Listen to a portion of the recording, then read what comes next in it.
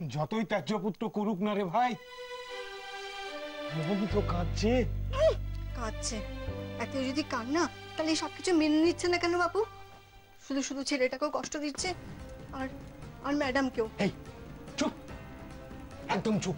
তুই সব কিছু বুঝবি না বুঝেছিস? বাপের মন তুই বুঝবি না। শোনো অনেক বাপ দেখেছি। কিন্তু না আমি এই রকম পাপ খুব কম দেখেছি। কি হয়েছে রে গোপাল? কিছু না কাকা বাবু আপনাকে এখন খেতে দেবো তো? হ্যাঁ খাব। হ্যাঁ।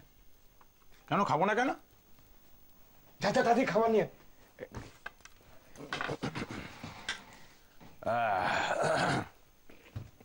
কাকা বাবু হুম? বলছিলাম যে বাবু তো সারাদিন কিছু খেলেন না। এখনও না খেয়ে চলে গেলেন। তোমার বাবুর যেমন বুদ্ধি। কেন? আজ পর্যন্ত না খেয়ে কেউ কোনো সমস্যার সমাধান করতে পেরেছে? দেখেছ? দেখনি? তাহলে যে পথে সমাধান নেই সে পথে হেঁটে লাভ কি? এই নিন আপনার খাবার।